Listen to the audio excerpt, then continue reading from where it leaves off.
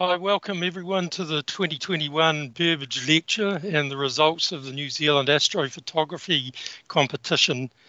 Uh, those who are new may not be aware that the Burbidge Lecture is normally given at the Burbidge annual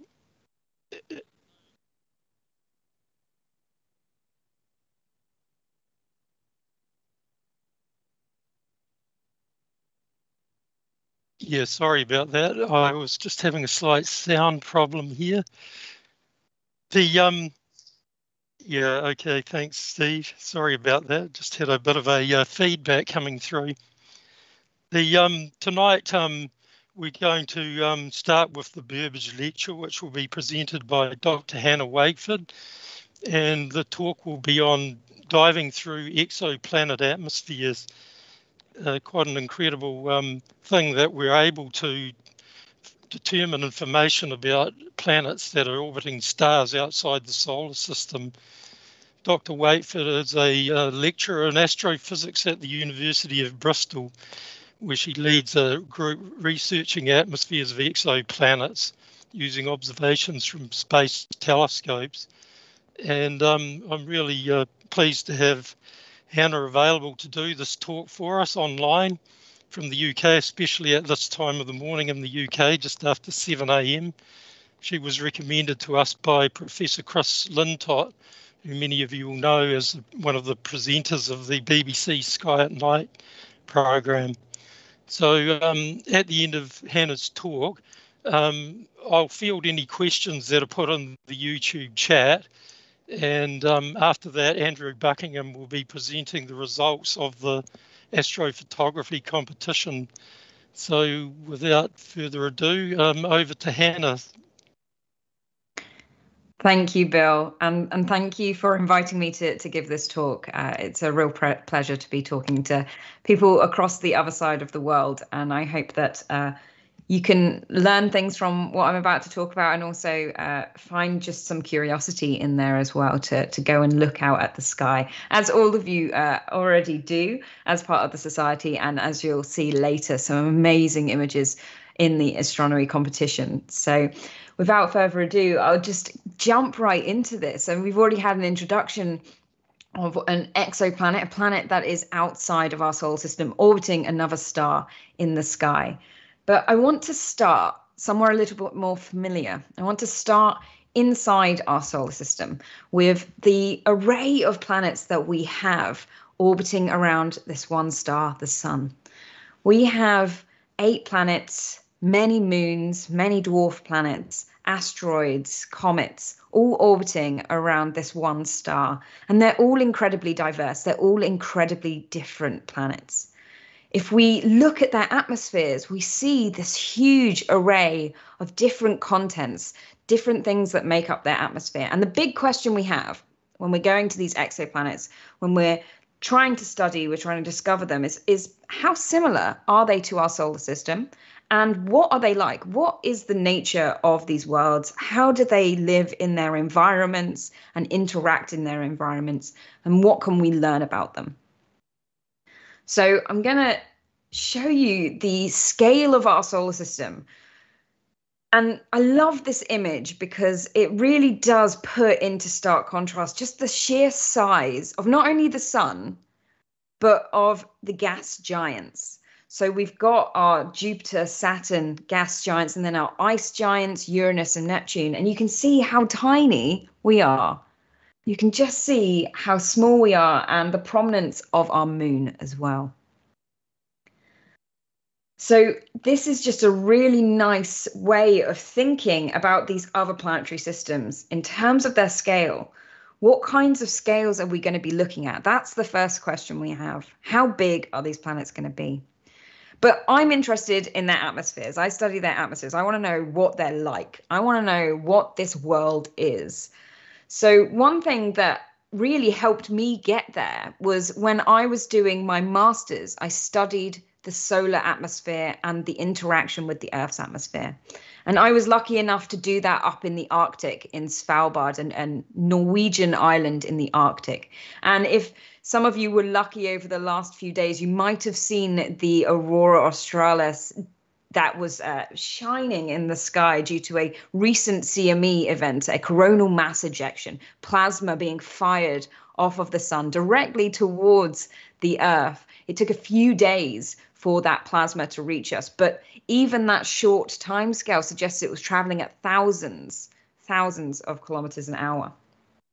So this is showing you that actually our planet sits inside two atmospheres the Earth's atmosphere and the sun's atmosphere. And what you're seeing with the aurora is the interaction of those two atmospheres coming together, connecting magnetically through our Earth's beautiful magnetic field, which channels it down towards the poles. And we see something very, very similar with the atmosphere of Jupiter, which also has aurora and also has interactions with its moons and imprinting that on the aurora. But we are actually a solar system that sits within two atmospheres. The star is hugely important. But as I said before, we have a load of different planets. We've got a really diverse set of planets in our solar system, and they've all made up of, of various different things. We've got some commonalities though. So I'm going to ignore Mercury for now because its atmosphere is a trillion times thinner than the Earth, so it's it's not really an atmosphere. But if we look at Venus and Mars, you can see those two are CO2 based. So their dominant material in their atmosphere, if we were to measure their atmosphere, the dominant material would be CO2. For the Earth, it's nitrogen, which actually, when you measure it, you wouldn't be able to see. So it doesn't have very strong spectral signatures. So it would be the O2 and the argon, which also doesn't have anything. So we're really focused on the smaller amount in the atmosphere. For our Jupiters and our Saturns, Uranus and Neptunes, you can see they're dominated by that hydrogen and helium mix. But it's to various degrees, and it's these other gases which are the hugely important thing here. These are gas giants. We know they're gas giants. Their density helps tell us that they're gas giants.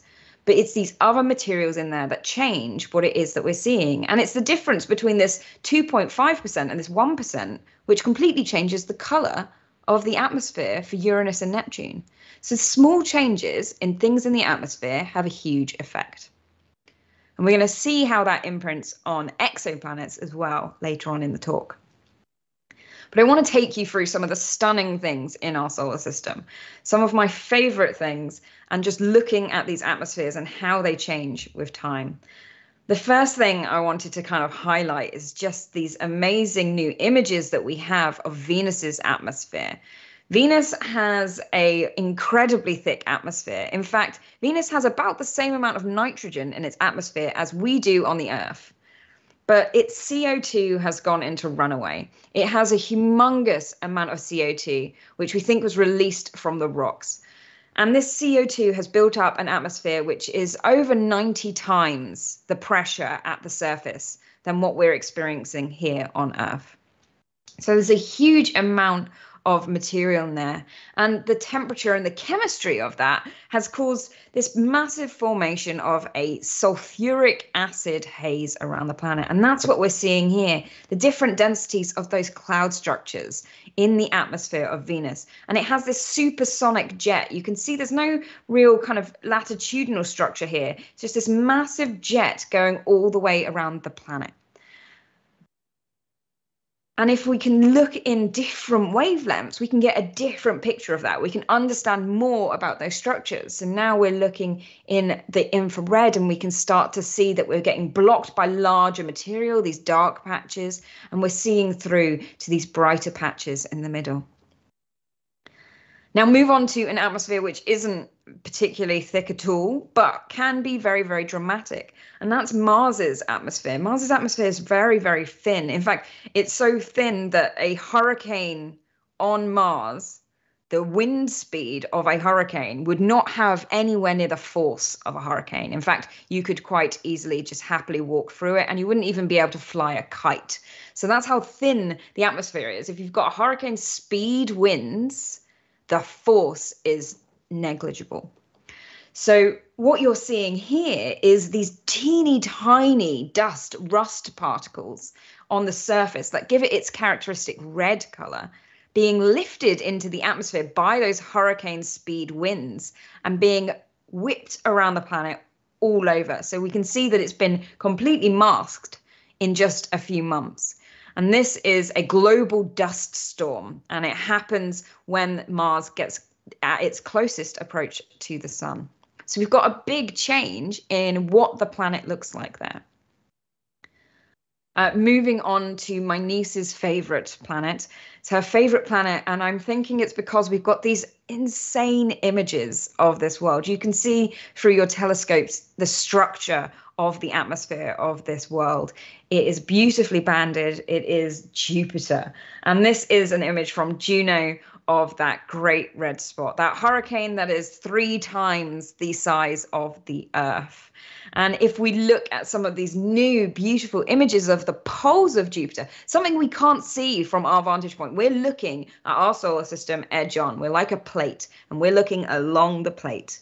So we're seeing Jupiter and its bands around its equator. But things that we can send to them. So these these satellites that we can send to other planets in our solar system have revealed that the poles of the planets are the most interesting places. And jupiter is 11 times the size of the earth 11 times the radius in terms of its size and 315 times its mass. So you've got 315 earths in there. And you can see some of these swirling vortexes at the pole of jupiter which are about the size of the Earth.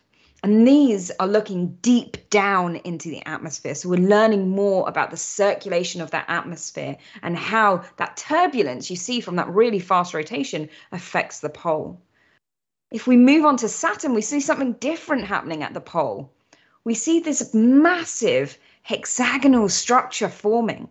You can see this beautiful and very natural structure formed by the rotation and these waves in the atmosphere. And at its center, this huge, huge kind of hurricane, which is going deep down into the atmosphere. This we're looking at here is an edge. It really is like a 3D structure we're looking at, where this is going down thousands of kilometers. And this is about twice the size of the Earth, just across the pole of Saturn. So it's this massive structure, which is still actually smaller than the Great Red Spot at its largest extent. But it is this beautiful hexagonal shape that you're seeing. And then finally, one of my favorite things in the solar system, the winds of Neptune. It sounds like a title to a sci fi book, but Neptune is this beautiful world right on the edge of our solar system. It receives very little sunlight, and yet its winds are the fastest in our solar system. They go up to 1,300 miles per hour. So, this is an incredibly strong winds around this world. And the questions we have about Neptune and Uranus is where do they get their energy from? There's huge amounts of energy imbalance in these planets and we just don't understand them yet. So the next step in our solar system is really sending something out to these ice giants and trying to understand what are they like and how. How is everything happening out there where there is so little sunlight so little energy put in from that star yet so much dynamic processes? So we have a huge amount to learn from our solar system and still a huge amount to learn about our solar system. We're not there yet. We don't understand all the planets in the gory details. We don't understand the energy budget, the magnetic fields of these ice giants. So we need to understand that to really push our n- limits on what we can use to understand other planets. So I'm going to take us now out to the stars and I'm certain that some of the pictures we're going to see later today are better than this blurry one I've got in the background. But we're going to travel out to the stars and ask the question what planets are out there? How can we look for them? And what can we learn about the nature of these planets' atmospheres? And that journey actually starts in 450 BC with Epicurus, who believed that the universe was infinite and that the number of atoms were infinite. and stated that therefore there must be an infinite number of worlds out there, both like and unlike our own. So the Epicurean philosophy said that there had to be other planets out there. Why wouldn't there be? There'll be some that are like our planet, and there'll be some that aren't like our planet. And that journey of trying to understand what those planets were like would take many thousands of years. So we're going to jump forward to the 1600s in Europe, and it's actually Christian Huygens, the probe that landed on Titan, the moon of Saturn, was named after him, who postulated that the way that we observe the moons of Jupiter orbiting around that planet, blocking out, causing shadows, the way that we make those observations, we could do the same thing for stars. If we look at a star, we should be able to see the planets shining around that star. We should be able to see them pass in front of that star. And we should be able to see the change in the system based on just observing that star. Now, this was way too early to have that kind of idea, way, way too early. Back in the 1600s, we had no idea how far away the stars were. Absolutely none. We didn't know that they were, you know, at minimum four light years away, all the way out to the edge of the observable universe. We didn't know how many stars there were in the Milky Way, how many stars there were across the sky and we had no idea exactly where they were. So it's an amazing idea that we've actually put into action, but it was impossible back then to understand just how small the numbers are that you would need to be able to measure to get that image. And then finally, we jump to the 1800s, 1855 to be precise. And this is the first false scientific claim of an exoplanet. So there was a W.S. Jacob from the East India Trading Company was running the observatory at Madras in India and uh, observed the star 70 Ophiuchi and stated in a paper that was written to the Royal Astronomical Society that there was a planet orbiting around the star and that they knew that because the star itself had moved. And by measuring its motion, they were able to infer that there must be something invisible orbiting it. Now, this is not true. Uh, 70 Ophiuchi is actually a binary star system. So, what they were measuring is an invisible binary, which is in that kind of bright spot there. So, it's kind of obscured. You're seeing two stars here instead of one. But that idea of planets being in the scientific literature has been around now for over 150 years. But it's only in the last 20, 25 years that actually that has become a reality. The first exoplanet was discovered and confirmed in 1995, orbiting a sun like star. And since then, we've seen a huge number of planets that have been discovered. This is even old. This is in 2018. It's now 2021, and there are thousands more. We are discovering more and more planets every single week. And it is a truly amazing thing that we're seeing an understanding of these worlds and what we're looking for. What you're seeing in the colors here are the different methods that have been used to discover these worlds. And I'll take us through just one of these methods, the transit method. And that's because you can see it creates this big cluster here and here. These planets are actually really, really useful to delve in and find more information. But what are we looking at here? What, what, how can what is this showing us? It's showing us the separation of these planets from their star. So, how close do they orbit their star? And it's showing us their mass. But we really need to put the solar system planets on here to put that in context. So, if we put our solar system on here, we've got our Earth at one astronomical unit, we've got Jupiter at our one Jupiter mass. And you can see our solar system worlds there. And that very few if none of these actually sit at the same orbital distance with the same mass as our solar system worlds. we have this big, big group, this big hole here, and this big group here.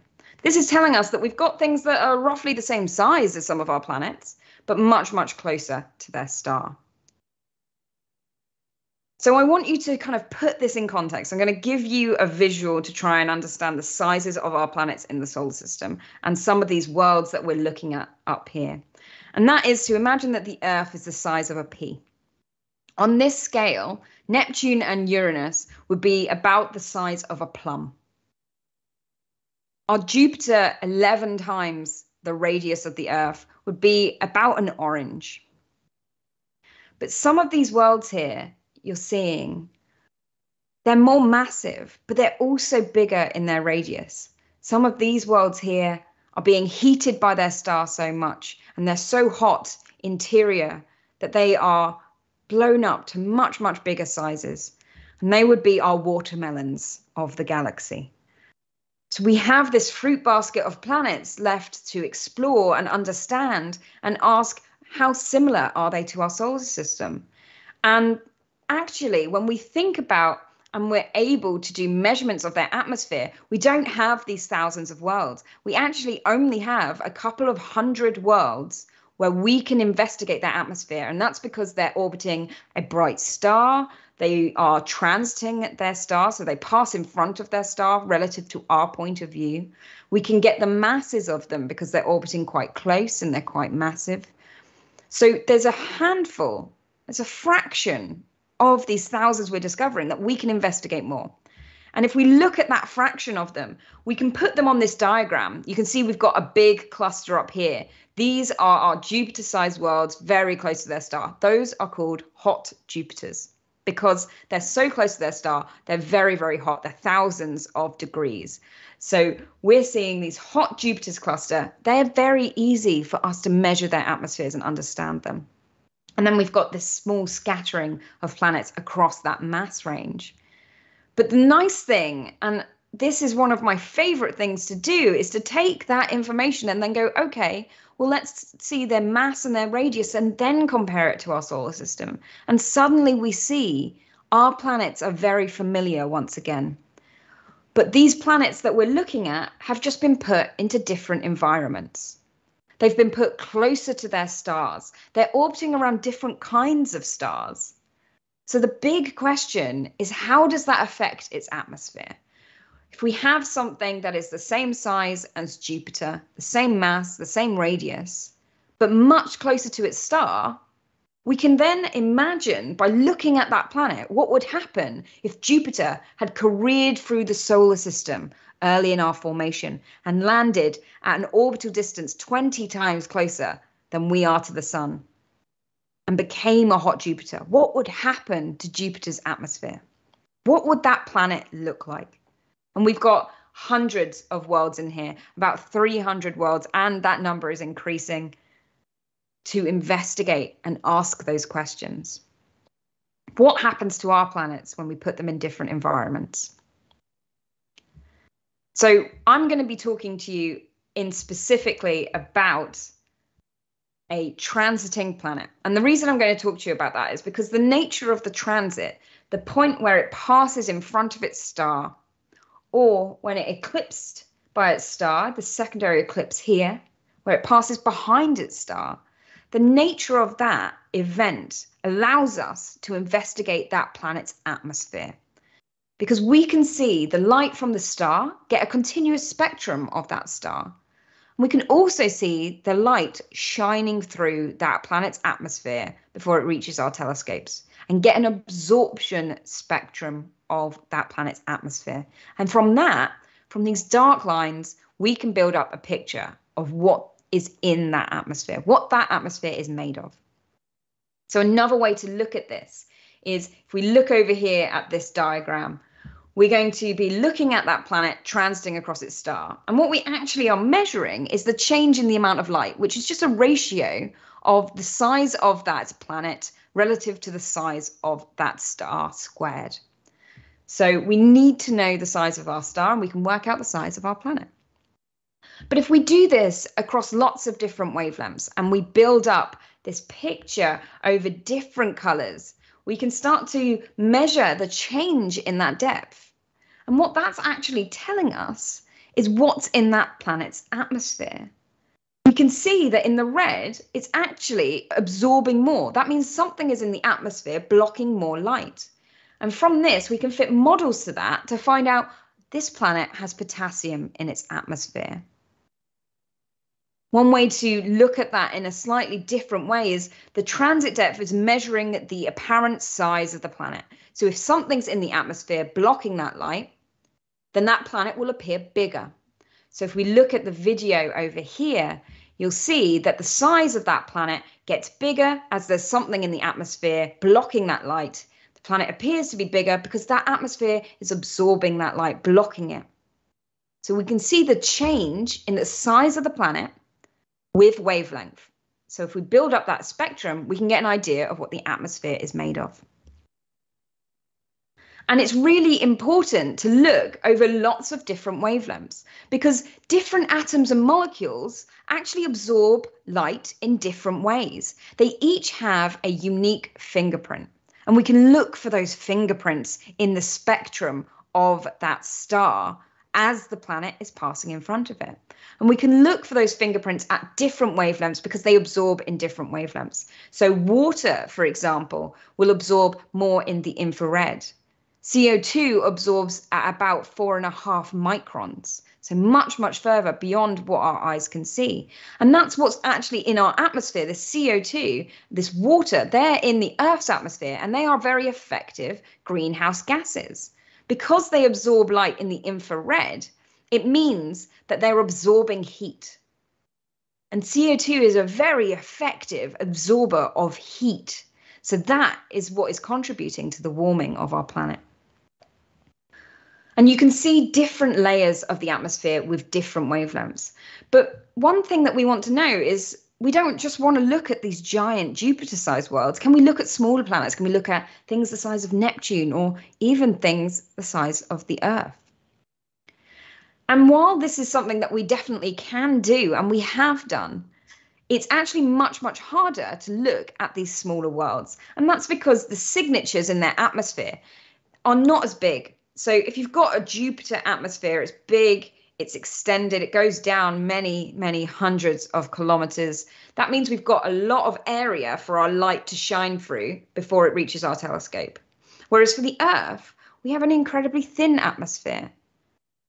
And that tiny amount of area that that light shines through before it reaches our telescopes, the tiny amount of area where you have something that's absorbing that light makes it much, much harder for us to make those measurements. So when we're looking at smaller planets, we're actually looking at smaller stars because this is a relative measurement. It means that the smaller the star, the smaller the planet that you can look at. So there's a huge amount of tip like tricks that we're doing to try and understand planets across the spectrum of sizes.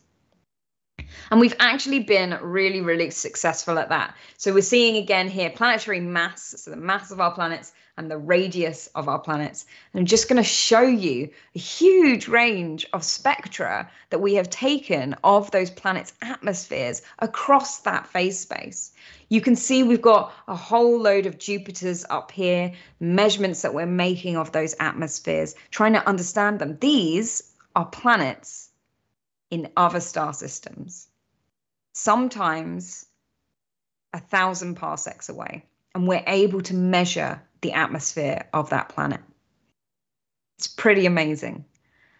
Down here, you can see some smaller worlds that we've looked at. This is the TRAPPIST 1 planetary system, seven Earth sized worlds orbiting one very, very tiny, very, very cold star. So the star itself is just 10% the size of the sun, and it is only 2,500 Kelvin. That's incredibly cold for a star.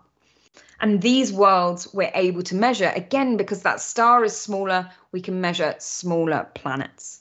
And from this, from the observations we've made with the Hubble Space Telescope, we've actually been able to rule out that they have giant helium atmospheres around them. They're not primordial. When the Earth started, we would have had a nice helium envelope around us, a nice blanket around us. But as time went on, we couldn't hold on to that. We didn't have enough gravity. So that helium escaped and that hydrogen escaped.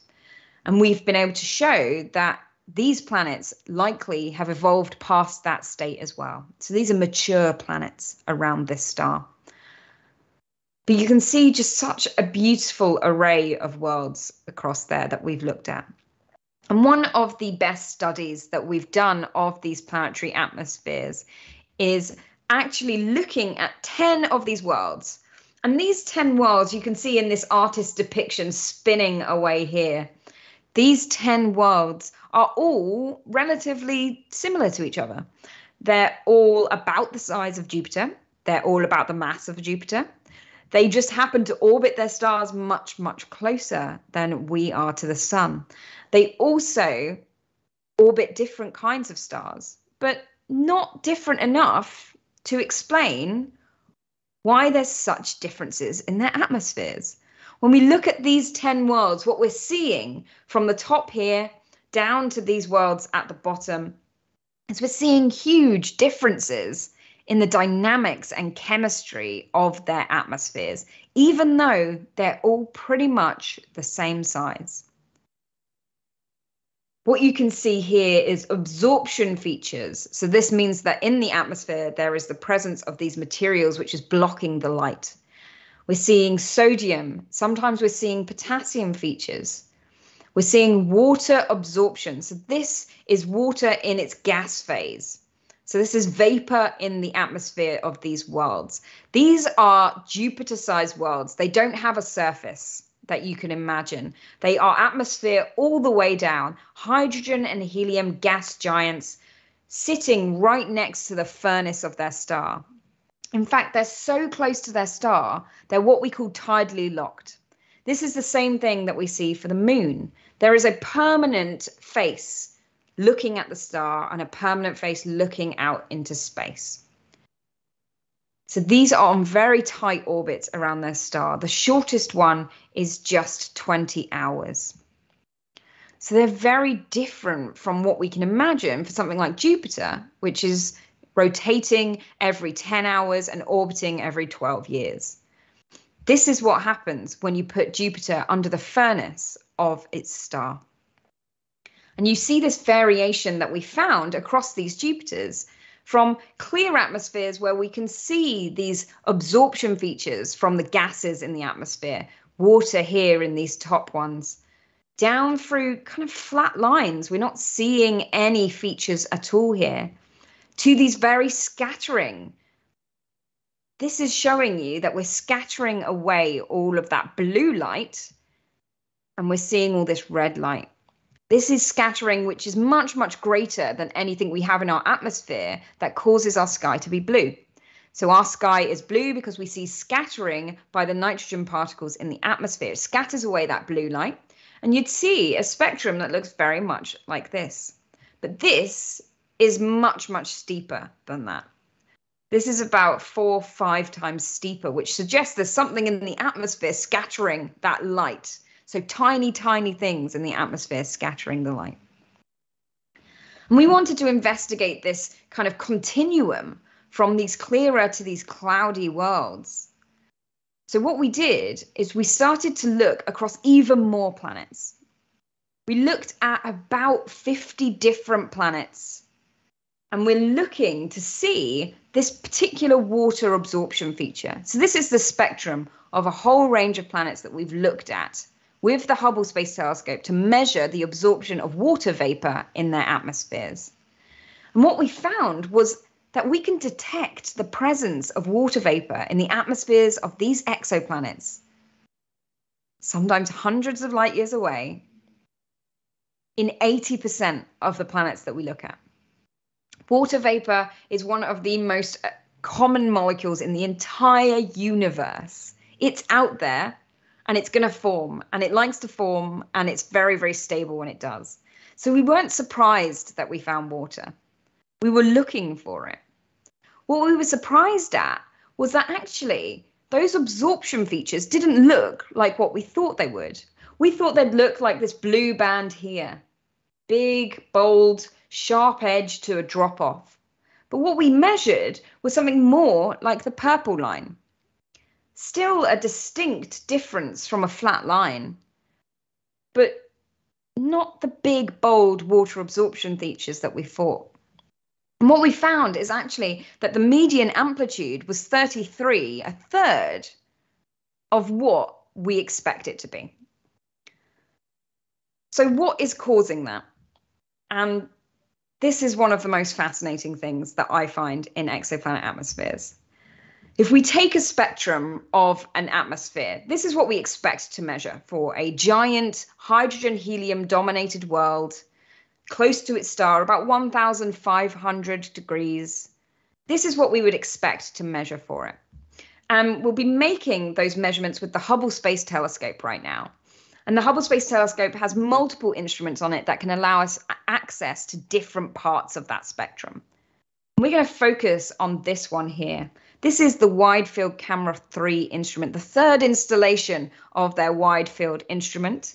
And it got it has bands that look in the infrared beautifully over where this water absorption feature should be. But if we put different things in the atmosphere, we start to see different effects. If we put clouds in that atmosphere, droplets, liquid or solid suspended in a gas, that is a cloud. If we put a cloud in the atmosphere where the particles are large, so big droplets in the atmosphere, you end up actually having a spectrum that looks more like this. If you put clouds in the atmosphere that are very, very tiny particles, more like the ice crystals you see in the noctilucent clouds, you get a spectrum that looks like this. We start to see those patterns that we just saw across all those planets that we looked at. This scattering, this flatness, all these beautiful absorption features. And if we zoom in to this region where we're looking with that infrared camera on Hubble, across all of those planets that we looked at, nearly 50 worlds that we were able to examine, you can see that the difference between our 100% amplitude, so what we expect to see, and what the clouds might affect it is somewhere in that 33 plus or minus 24%. So clouds in the atmosphere are the thing that is responsible for changing what the spectrum looks like when we measure it.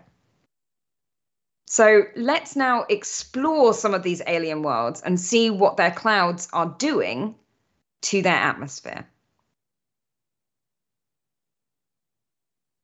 So I'm going to take you on a sunset journey now.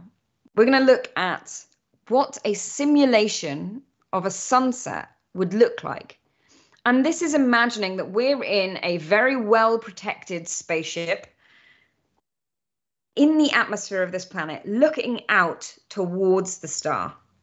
So we're looking through the atmosphere towards the star. Imagine those images that you see from the International Space Station, looking at the atmosphere of the Earth as the sun is rising behind it. You see all those beautiful layers of the atmosphere.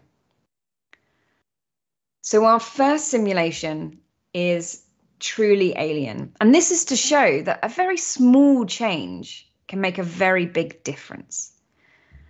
Our sunset is a beautiful teal green. What you're seeing here is a simulation of the sunset of a planet called HD 209458b. Long phone number name. That's the name of the star. The B, the lowercase b on the end, is the, the planet itself. And this is caused by just one simple thing in the atmosphere sodium. If you put sodium in this planetary atmosphere, and we don't have any other absorbers in the optical, that sodium is going to block all of the orange light. And when we block all of the orange light from our star, we end up with this beautiful green blue sunset. But let's go to something a little bit more familiar. I've already talked a little bit about this the scattering effect. And we see the effect of scattering right here on Earth in this beautiful red sunsets. That's what we see. At sunset and sunrise, the light shining through this Earth's atmosphere makes the sun appear red. And that's because our atmosphere is scattering away all that blue light. This is a simulation of one of our hot Jupiters, HD 189733b. Now, HD 189 is incredibly close to its star. This is a simulation which is showing you not the stages of a sunset, but what you would see all at once. In our sunset, you'd see the colors of the sun change as it sets. What you would see for this world is the star would be the entire array of colors all the way across. Because you're so close to the star, it would be huge in the sky. In fact, we can compare it directly to what the Earth would look like. So this is the sun from the Earth, relative scale to the sun from the atmosphere of HD 189733b. We're so close to the star there. We're seeing all of the colors across that. And this scattering is due to this big, big amount of haze in the atmosphere, this small particles scattering the light away. Now, I'm going to focus in on this planet a little bit because this one's really fascinating. We've been able to study it in a lot of detail. And what we've been able to discover is that these clouds are made of sand, glass, magnesium silicates, forsterite, enstatite, the things you find on your beaches in the atmosphere of this planet, molten at over a thousand degrees. And that with measurements in the optical of this planet's light that is being reflected back to us, we've actually been able to tell the color of this world. This is a simulation from the University of Exeter of HD 189's color. That blue is a simulation based on measurements that we made of the reflected light from that planet's atmosphere. But it gets even more interesting. HD 189 is orbiting around a very violent star. And we've actually made measurements. Again, this is a simulation of this star flaring in the X ray. So, measurements of X ray flares coming from the star. You see one going off there. And then we made measurements of the atmosphere being blown off from the planet. Hydrogen escaping from that planet's atmosphere in a comet like tail due to the blasting of solar radiation. So not only does this have a beautiful Earth-like sunset, but it is absolutely nothing like the Earth at exactly the same time. That sunset caused by the scattering of light by glass crystals in the atmosphere. Hurtling around this world at over 5,000 miles per hour. I told you the winds on Neptune were 1,300 miles per hour, the fastest in our solar system. The winds on this world flying shards of glass at you the entire time you're watching that beautiful sunset at 5,000 miles per hour. But that's not the end of our exotic journey. We go on to one of my favorite worlds next. This one is a film noir sunset. Beautiful grayscale, little hints of green on the edge of your vision. This is WASP 12b. WASP 12b has one of the most boring spectrum that you can see. It is this beautiful scattered flat line.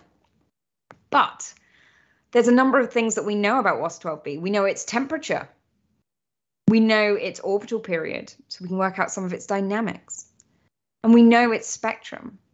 So from that, what we've been able to determine is that this planet's atmosphere likely has clouds in it that are quite large. Now, when I say quite large, they're still smaller and thinner than a strand of hair, but that's quite large on, on cloud scales that are scattering the light in this atmosphere. And because of its temperature, because this planet is so hot, there's only one material that can form clouds at that temperature. And that material is something called corundum which makes up rubies and sapphires here on the Earth. So the atmosphere of this film noir planet has rubies and sapphires floating around in it as its clouds, obscuring the light. And we can look at some of the studies across the temperature range. So, temperature is hugely important for these clouds. Temperature really controls what is happening, what clouds are forming. And if you look at the temperatures here, we're talking incredibly hot. 700 is all the way down to kind of Venus surface temperature. The atmosphere of Venus is much, much colder than that. So we're not even hitting solar system temperatures here. These are very hot planets, going all the way up to over 2,200 degrees. Some stars are this hot on the yellow end. but the atmospheres have these different clouds made of things quite literally salt, table salt. NaCl forms clouds in these atmospheres. We've got sulfur bearing species, sticky yellow species forming clouds. We then have our silicates, our magnesium silicates, our sand, our glass. And then we come to the gems and the jewels, our aluminium oxides in the atmosphere. These aluminium oxides only form at these highest temperatures. And as you go to cooler temperatures, they form deeper and deeper in the atmosphere where it's hotter and hotter. And then suddenly these silicates actually dominate the spectrum. So we've got this huge array of information we can get from just a spectrum of a planet, understanding its environment. What's its star like? Is it star blasting it with radiation? What effect is that going to have? What's the temperature of this world? Is it a giant hydrogen helium dominated world.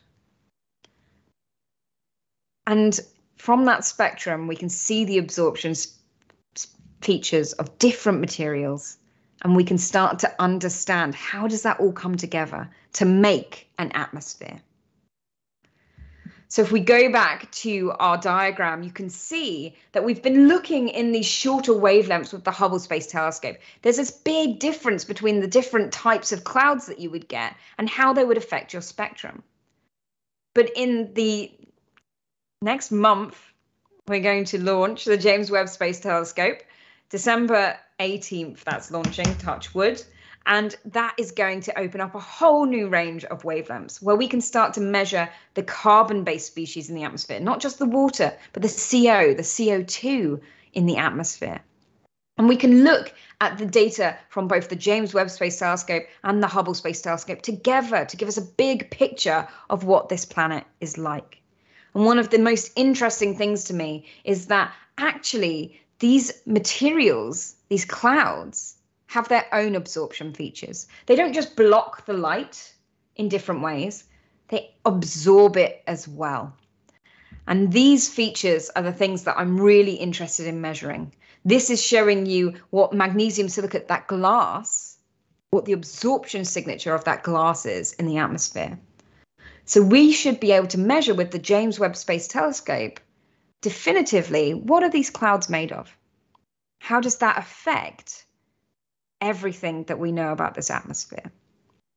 And it's only when combining information from the Hubble Space Telescope, knowing that these clouds exist, they're scattering the light in a characteristic way, that we can go after it with the James Webb Space Telescope to try and understand what are those clouds made of. We have a good theoretical idea.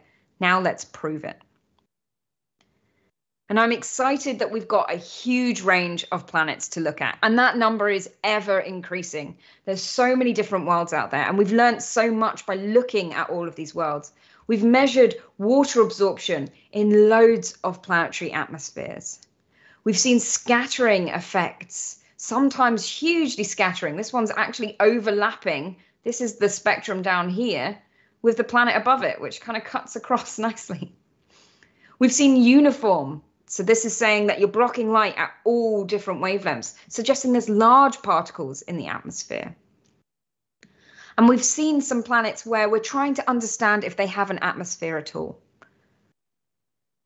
And what this all comes down to is trying to understand that Venn diagram of worlds out there from our stars, which again have these atmospheres. We're living inside our star's atmosphere.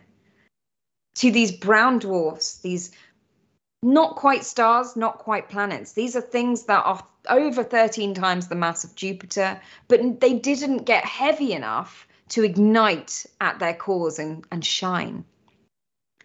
And then we've got our planetary atmospheres. How does this continuum go all the way up because fundamentally the physics and chemistry of an atmosphere should be the same. What affects them and how? How can we better understand that? So we're looking across all of these beautiful worlds, trying to understand what they're like. What is this world other than something that's close in size to Jupiter, kind of the same mass? But what is it actually like? If you want to know more about exoplanets, then uh, I run a podcast called Exocast with my colleagues Hugh Osborn, who is a, a, detection specialist, so he discovers exoplanets. I do the classification, the characterization, understanding their atmospheres, and Andrew Rushby, who's our astrobiologist, trying to understand about habitability in our universe that podcast has now been running for a number of years now. And if you join us on Twitter, you'll see we're currently having a big competition to determine what the best exoplanet of 2021 is. I also have a book out, which I wrote with Professor Chris Lintott and Brian May. You can see proof there on the back. This is an update to their 2006 book, Bang you can see the double exclamation point there saying that it's a new book. Um, and this now contains the last 15 years of discovery and all about exoplanets, the things that we've learned about our universe in the last 15 years, completely updated. So see if you can get a hold of that at some point but from that, I'm going to say thank you so much for listening. And I'm really excited to answer your questions. I hope that you enjoyed our journey through those exoplanet atmospheres. Uh, thank you very much, Hannah. That was an amazing talk. And um, I will have to give virtual applause. So thank you, thank you very much for that. Um, we've had a number of questions in the chat. The first one was from Emmett Campbell. And I think he's referring to the diagram that showed um, a number of planets rotating next to a, a table, a list of yep. spectra.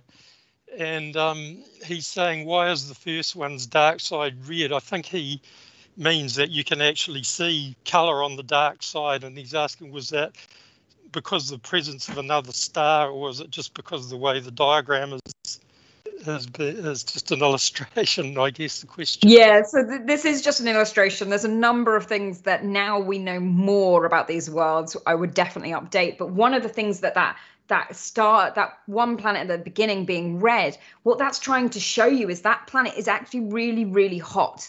Its internal heat, its own heat, is heating up that planet's atmosphere. So even when you're looking at the night side, the dark side of this planet, you can still see it glowing. And that's because it's so hot, it's actually emitting light as well as blocking it.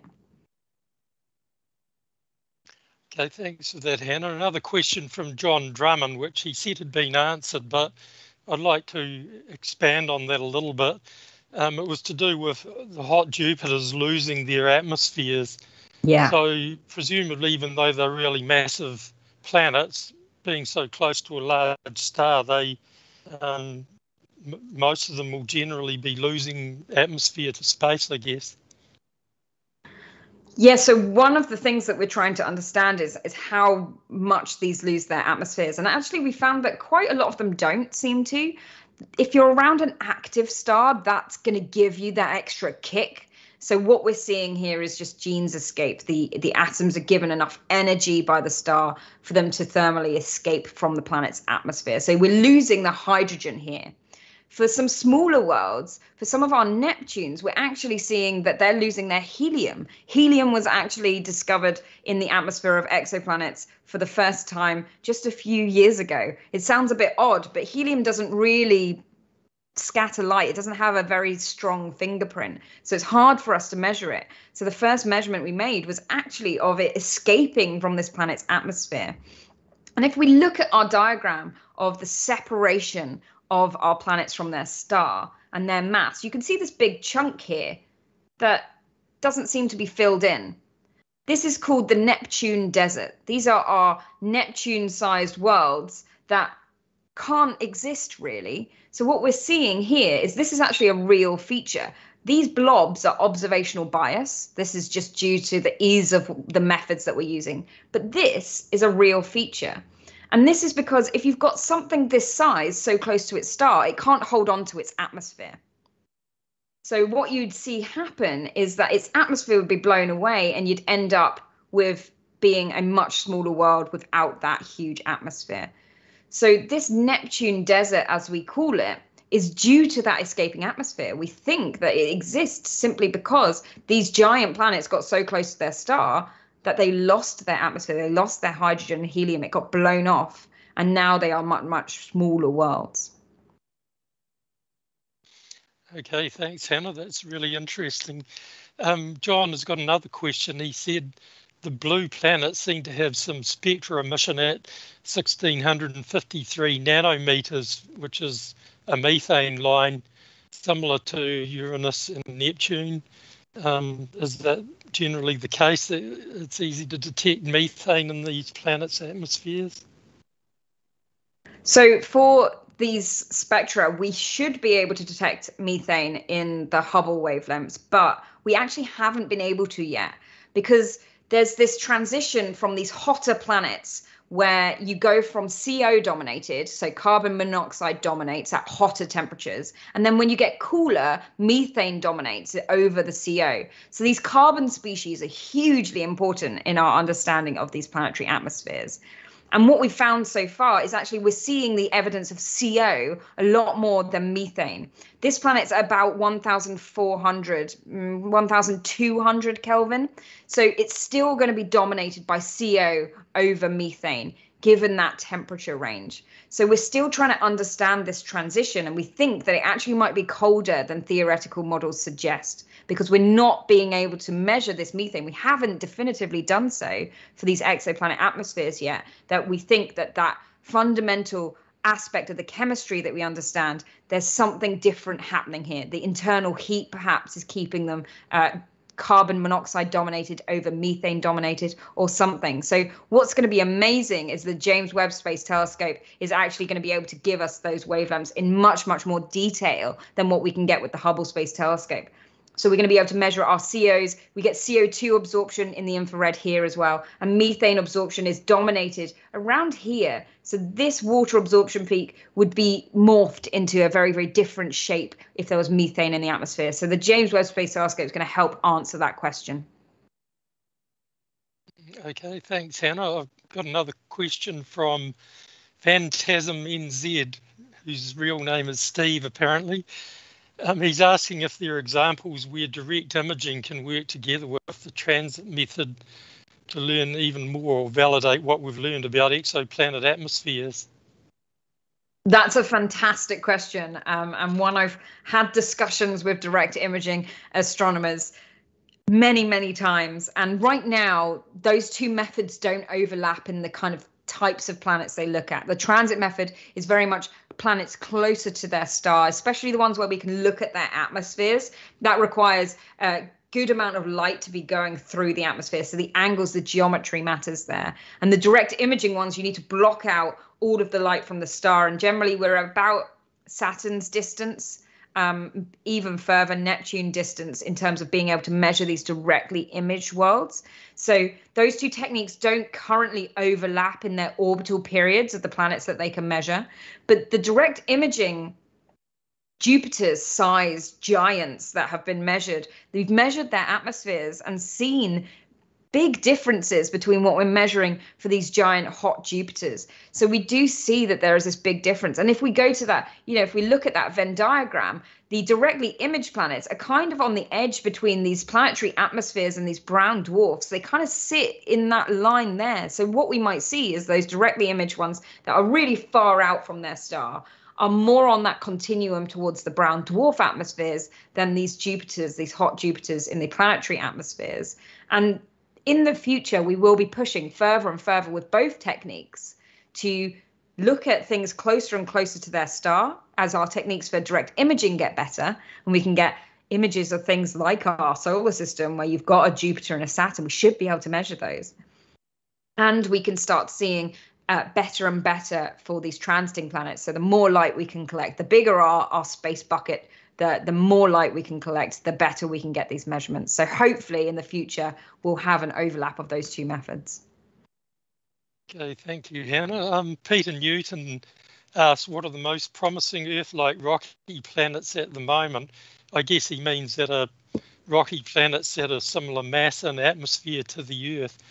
And is the James Webb going to prioritise those type of planets? So the James Webb Space Telescope is a international telescope which anyone can apply for. You guys can apply for time to use the James Webb Space Telescope as you can with the Hubble Space Telescope. So it's an open astronomy instrument. So the prioritization of time is dependent on the community. So if scientists proposed to focus on these things and they got selected by a group of their peers, then that would be the priority of that time. But what the James Webb Space Telescope is going to be able to do is actually it's already scheduled to look at some of these worlds. So these TRAPPIST one planetary uh, system here, down here where we've we've shown with the Hubble Space Telescope, they don't have a hydrogen envelope around them. The James Webb Space Telescope is going to be going to look at three of these different worlds. So it's going to be looking at E, uh, B, I think, and D so it's going to be looking at these different planets and trying to understand their spectrum in more detail. So you can see the uncertainties here. You can see the scatter. The Hubble, the, the James Webb Space Telescope is going to be very precise. It's going to be able to tell us, do these planets have atmospheres? And the TRAPPIST-1 system is very, very useful for us because there's seven planets around one star. We can remove the star from the equation. So we can ask okay, well, they're all around the one star. The star is not the thing changing here. That's our constant. So we've got these little test tubes of planets trying to see if they've got atmospheres, if their distance has the priority, or if there's different factors in their environment that affect what kind of atmosphere they have. So this is going to be like a gold mine for information on that aspect. And these are only about 40 light years away. They're all likely to be rocky in some way but these are kind of a, a, priority right now of trying to understand these worlds. But in the future i expect that to change in many many different ways. Okay thanks hannah i've got a question of my own. These um, hot jupiters with clouds formed from things like silicates and um, aluminates uh, is it possible that you can actually get a cycle of effectively rain falling where you get condensation of these materials, they fall down and, and re-vaporize um, lower down in the atmosphere and then re, solidify So you could have rain of um, silicates or um, rubies or that kind of thing. It was just yeah, that's a fantastic that's a fantastic observation, and that is exactly what we think is happening in in parts of these atmospheres. In fact, we have measurements which suggest that as you go from that tidally locked permanent day side to this permanent night side, the temperature difference is huge. The temperature difference from being under your star, bright, nice heat, to the night side where it's very, very cold can be very, very big. It can be a couple of hundred degrees. So if you change your temperature by a couple of hundred degrees, you change that condensation you're kind of hitting this wall. And some observations have actually suggested that there's this cliff of clouds forming over the edge of that terminator from day to night side. And what we're seeing from these kinds of measurements and from simulations of these atmospheres is that we expect them to recycle exactly how you said, raining down through the atmosphere, growing in size, dropping through the atmosphere and then being heated up so then they never hit a surface they don't like rain here on earth hit a surface and that's it they form puddles these go deeper in the atmosphere where it gets hotter and hotter get re-vaporized and then travel being transported up to the top of the atmosphere where they condense again and go through this. So we do expect this recycling of material. And these condensates, these silicates, these corundums, they allow that process to happen. However, you see these hazes here, this big orange blob. These, these hazes actually are different. Those are photochemically generated materials. These are like soot um, or smog that you see. and those actually don't get destroyed in the same way. So if you heated them up, they wouldn't get destroyed. So when you produce a photochemically generated haze, that's permanent and that's there forever. So these condensates are a really nice recycling material which forms droplets and solids and then it rains down and it goes into a vapor again and then it recycles in the atmosphere. So they're a really nice way of looking at the dynamics of these planets. Okay, thanks. That's really interesting. We better um, um, oh, actually, just on that same subject, Otto was asking, are there, is it possible to have atmospheres raining diamonds? So, unfortunately, diamonds are a very different species. They don't really form very naturally, whereas these condensates will naturally kind of come together. They, they like to come together. It's very energy efficient, especially for the silicates. So, the glass, the, the sand, it's very energy efficient to create a magnesium silicate. We see it in all of these beautiful nebulae that you're going to you've got pictures of um, so those are happy to form whereas diamonds aren't particularly happy to form. You have to really really force it. So unfortunately i doubt that we'll be seeing raining diamonds in these.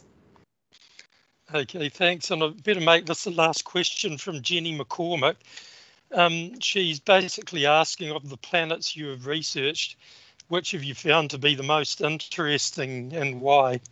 Or most exciting? I I love Wasp 12b that I showed you that film noir planet because it's got so many different angles that we needed to use to work out logically what might be happening, what might be forming those clouds in the atmosphere. It's so hot. Nothing should ever form a solid or a liquid. It should all be gas. It's just far too hot. So we had to kind of logic puzzle our way to working out what might be happening, come up with a prediction and test that. So I really love it when we're able to do that as scientists is just use our knowledge to try and put pieces together and then go, okay, well, what's next? So I really, really love that one.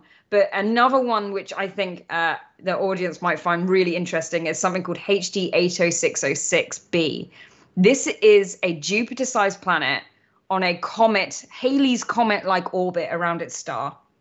So it comes within just a fraction of an AU to its star. And then 111 days, it goes on this cometary like orbit, taking it out beyond Venus's orbit and then back in towards its star. It's a Jupiter sized world traveling around on this ridiculous, ridiculous orbit around its star. And what we've been able to measure is actually that when it when it does its passage close to its star, the atmosphere heats up so much. It's like being smacked with a rocket. And we've been able to see the waves that have formed in that atmosphere, been able to measure the temperature changes of that as it goes away from its star again and relaxes back to going, okay, we're good now. And then it comes back to the fire again every 111 days. So that one's a really fascinating cometary Jupiter, if you can imagine it. I was going to um, make that the last question, but we've got a quite an important one here from Sonia. She says, um, "Oh, sorry, it's not Sonia. It's Spice X. Um, is it possible to detect signs of life through atmospheric spectroscopy?" Yes, it is possible to detect signs of life through atmospheric spectroscopy. However, we don't currently have the technology to be able to do so. So the atmosphere does hold signatures of life on our planet. If you look at the Earth's atmosphere as if we were doing these same measurements that we've been doing for these giant planets, you can see very telltale signs of life on our planet. Something called the red edge is the indication of chlorophyll on plants. There's also uh, the O3, the ozone, and we've also got a very uh, distinctive imbalance between gases. So we've got more methane than we should have, which means something is constantly replenishing the methane. It shouldn't be there naturally in the amount that it is. So, what we would do to determine if there's something in the spectrum for life is looking at the imbalance of molecules compared to what would naturally form, the differences between that and something that is then causing it to be different that can tell us if there's life on that planet. But we don't currently have the technology to be able to make those measurements. They're incredibly difficult to make. Okay, so I think we'll. Um, that's all the questions. So thanks very much, Hannah. We've had a lot of appreciative comments in the YouTube chat. So thank you very much. So we're going to move on to um, a new part of the uh, tonight's presentation where Andrew Buckingham is going to announce the results of the New Zealand astrophotography competition. So over to you, Andrew. Thanks again, Hannah. Thank you. Thank you, Bill. Um, I'm pleased tonight to um, be able to announce the competition winners. Uh, so the 2021 competition received over 300 entries, and the entries are divided into four categories: uh, deep sky, nightscape, uh, solar system, and time lapse.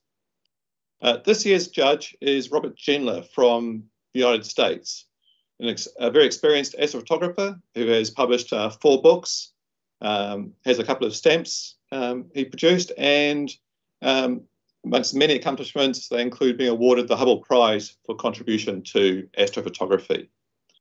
So as I go through the uh, and winners, I will uh, read his comments out.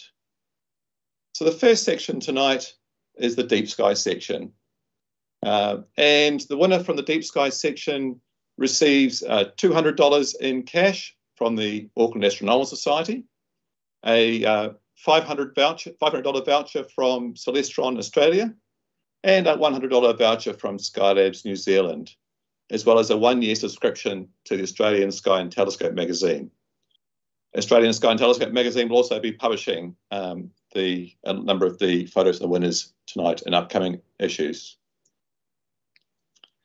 So our first highly committed photo is from Chester uh, Hall Fernandez, the Derby Dragons. The judge's comment is, I appreciate creative planning and composition. And this image certainly has both, in addition to deep acquisition, uh, careful processing and control of the dynamic range. Our second highly committed photo is from Matthew Ludgate, uh, the Large Magellanic Cloud in narrow band. A terrific presentation of the myriad star forming region in the Large Magellanic Cloud. Composition, planning, acquisition, and processing are all first rate. And the winner of the uh, Deep Sky section is Rolf Wahl Olsen uh, with the Supernova 1987A light echoes. Judge says this image stands out among the rest of the deep sky submissions for its creativity and overall presentation.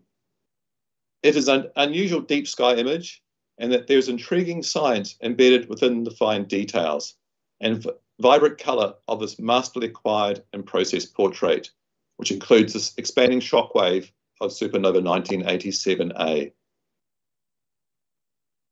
Congratulations, Rolf. So our section section we're going to look at is the Nightscape Artistic section. The winner of the Nightscape Artistic section receives $200 cash prize from the Auckland Astronomical Society, a $100 um, voucher from Skylabs New Zealand, and a one-year subscription to Australian Sky and Telescope magazine. So our first highly commended uh, entry is from uh, Frank Hopfler, Coupe S sailed by moonset. This is another stunning composition with many fine features for the eye to feast. I particularly like the inclusion of the setting moon and the orange-red hues contrasted against the blueness of the Milky Way, well, the night sky, Milky Way and Magellanic Clouds. One word, excellent. Our second highly committed entry is from Laren Ray, the Taranaki Milky Way. This one is special as well. The inclusion of the stargazer makes for a story within the composition. The pleasantly processed arching Milky Way, large and small Magellanic Cloud, against the snowy foreground uh, makes for a very pleasing image that also tells a story. And the winner of the Nightscape section is Lee Cook with Nightscape X. The visual impact of nightscape photography is weighted heavily by the composition, and this one is absolutely stunning. The snow-peaked mountains, river, and human presence in the valley village composing the foreground all serve to exquisitely frame the majestic form of our Milky Way. Flanked left by the Magellanic Clouds, I love this image. So congratulations, Lee, for winning that section. Our third section is the solar system section. Uh, the solar system section receives a $200 cash prize from the Auckland Astronomical Society, a $300 uh, voucher from Astronz, and a $100 voucher from Skylabs New Zealand. Our first highly commended um, entry in this section is from Charles Brooks, the lunar eclipse umbral phase. A fine creative composition, the inclusion of the background star field carefully uh, imaged and layered into the composition is a testament to excellent planning and creative thinking. Superb processing of the moon as well. Our second highly commended is Greg Stevens, again with the lunar eclipse. The appeal of this composition is the particular choice of the arrangement of phases in relation to the featured eclipse moon and the expert control of dynamic range, an overall very appealing composition. And this, this year was the section seems to go with a theme because the winner of the solar system section is Chris Wade with Full Moon. What attracts me to this image is the subtlety, the masterly control of the dynamic range and subtle colours of the mineral moon create for me. They create for me an aliveness of lunar surface features, which is rare in lunar imaging. So congratulations, Chris, winning the solar system section. And our last section is the time-lapse section. And we will show you the, the full lapses here. The winner of the time-lapse section receives a $200 cash prize from the Auckland Astronomical Society and a $100 voucher uh, from Skylabs New Zealand. Uh, our first time our first time lapse in the highly commended section is from Mark Murphy, the Aurora Cosray Dark. A wonderful capture of Aurora Australis, a treat for all those at Aurora unfriendly latitudes.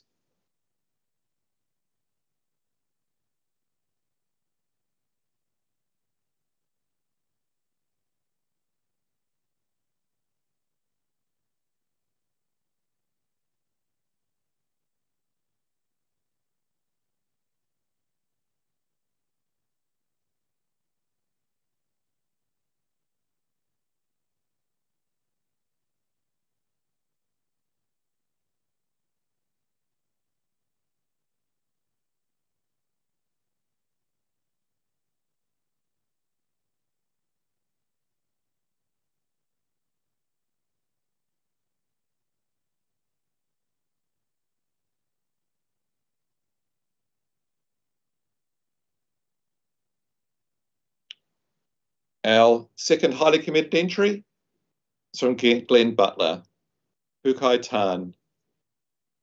The snow-topped peak and lake reflection of the rising Magellanic Clouds and Milky Way make for a stunning visual treat in this outstanding composition, superbly planned and executed. A third highly committed entry from Mikey McKibben, the Karikari Milky Way, Stunning composition and capture with excellent choice of eye-catching feature uh, that directs the viewer's eye upward at the rising galaxy.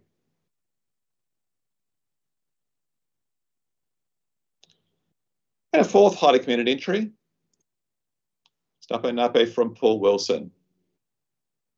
I liked all the submissions by this contributor. However, I love this particular piece for its transitions, especially the Milky Way juxtaposed to the trees at sunrise. Fantastic.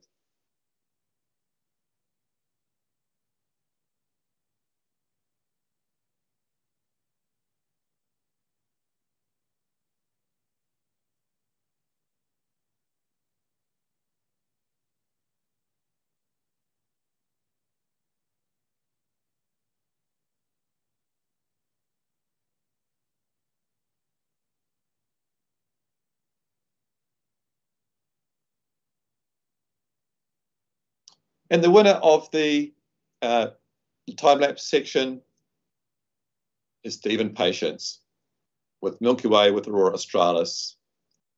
This time lapse was an extraordinary 13 hour collection of delightful phenomena and transitions, including a gorgeous sunset as a prelude to a rising Milky Way and small Magellanic Cloud, and the serendipitous appearance of the Aurora Australis.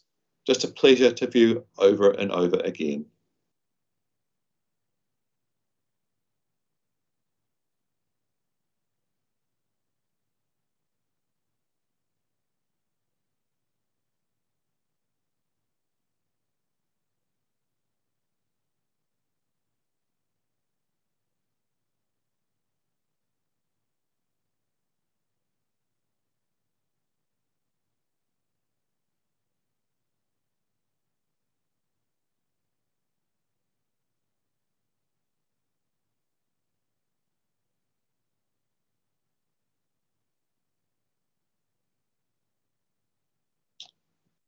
Congratulations, Stephen, on winning the night, uh, reading the time lapse section.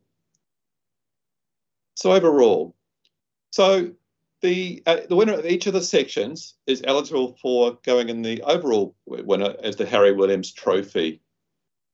The winner of the Harry Williams Trophy uh, will receive a $500 um, Skywatcher Australia voucher, as well as a $300 cash prize from the Auckland Astronomical Society and, the, and will hold for the year the coveted Harry Williams Trophy. So the big moment we're waiting for. This year's winner of the Harry Williams Trophy is a very well-deserved Rolf Wahl Olsen with the Light Echoes in 1987A. 1987A. This image uh, clearly um, stands out among the rest for its creativity, planning, and execution and overall presentation. It's such an unusual deep sky image, capturing an intriguing astronomical phenom phenomenon, skillfully embedded with the fine details and vibrant colour of this masterly planned, acquired, and processed portrait, featuring the expanding shockwave of supernova 1987A. A masterpiece, which I think sums up, up well. So uh, congratulations, Rolf, on you on winning the section and being the overall winner of the Harry Williams Trophy. Also, a big thank you to all the sponsors of the competition. It's uh, Skywatcher Australia, Astronz, Australian Sky and Telescope Magazine, uh, uh, Skylabs New Zealand, and Celestron Australia. And of course, the Auckland Astronomical Society for running the competition. Uh, thank you to our judge, and uh, his work put in. And a big thank you to Jonathan Green uh, for his tremendous work in organising the competition we're running at the moment.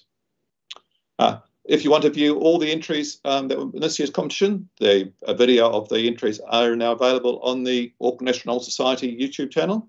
Um, enjoy, enjoy your view of those and see if you agree with the judges. Otherwise, congratulations to everyone again, and we hope to see your entries in the 2022 competition.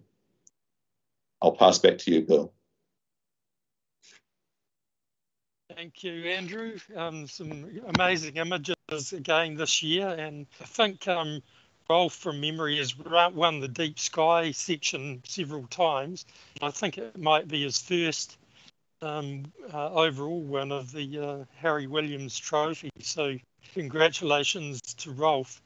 And again, um, thank you for Hannah Wakeford for an amazing uh, lecture, one of the memorable uh, Burbidge lectures, I, I feel.